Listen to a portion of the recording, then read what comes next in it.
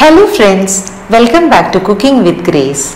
If you are new to my channel, please press the subscription and bell button to get all my recipes I will be posting regularly. Today I am going to show you a very popular Indian street snack recipe chaat with three types of beans. This salad or chaat with chickpeas and kidney beans or black or white chana and rajma beans can be made quick and yet delicious. I am sure everyone loves these healthy salad and it is a great food to begin with your day or can be enjoyed at any time. So let's get making this easy recipe. Here I have soaked 1 cup of kidney beans overnight then adding water to the level of beans and pressure cooked it for 5 to 6 whistles. Drained and kept it aside. Here are the other ingredients for this chaat.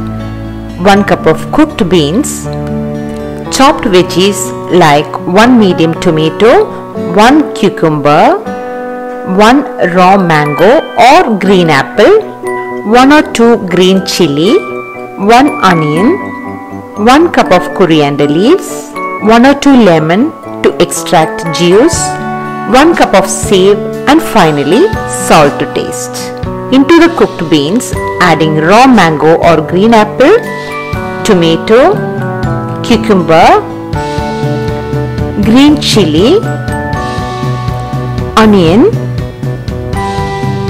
coriander leaves. I kept it some aside for garnishing at later. Salt. Now extract lemon juice.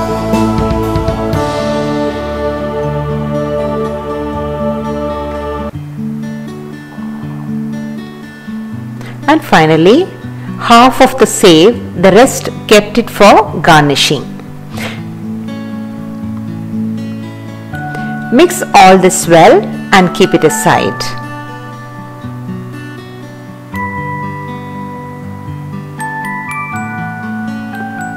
Now we will mix the dressing. For that into a bowl added 1 cup of curd, half teaspoon of salt, half teaspoon chili powder. This is optional. Quarter cup of water and combine it well into a smooth consistency and keep this aside again. For serving, add 6 to 7 tablespoon into a serving bowl.